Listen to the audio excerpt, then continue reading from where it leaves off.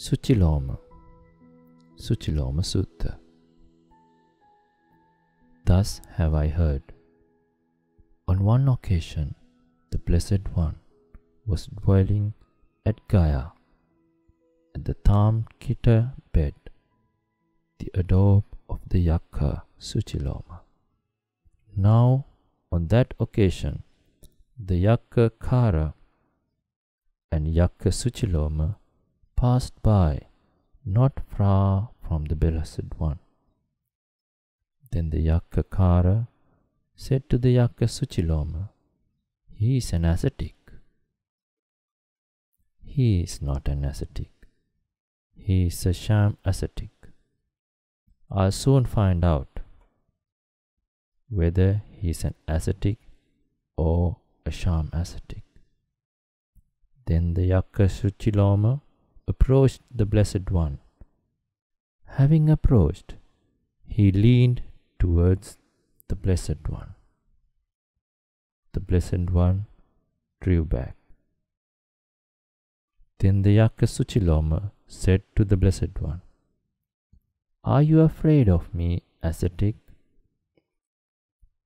I am not afraid of you, friend. It is just that your touch is bad. I'll ask you a question, ascetic. If you won't answer me, I'll drive you insane or split your heart and grab you by the feet and hurl you across the Ganges. I do not see anyone in this world, friend, with its devas, Mara, and Brahma. In this population, with its ascetics and Brahmins, its devas and humans, who can drive me insane, or split my heart, or grab me by the feet and hurl me across the Ganges. But ask whatever you want, friend. The Yakkha Suciloma then addressed the Blessed One in verse.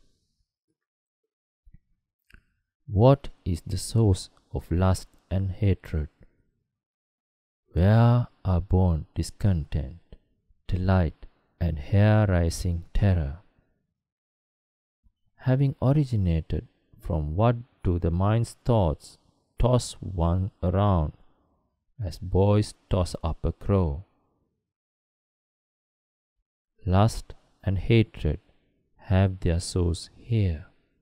From this are born discontent, delight, and hair rising terror.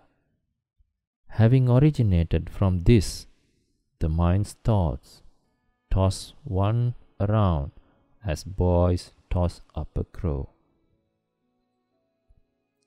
Born from affection, arisen from oneself, like the trunk borne shoots of the banyan tree, manifold, attached to sensual pleasures, like a maluva creeper stretched across the woods.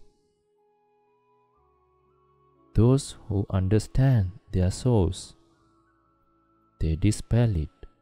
Listen, O Yakkha.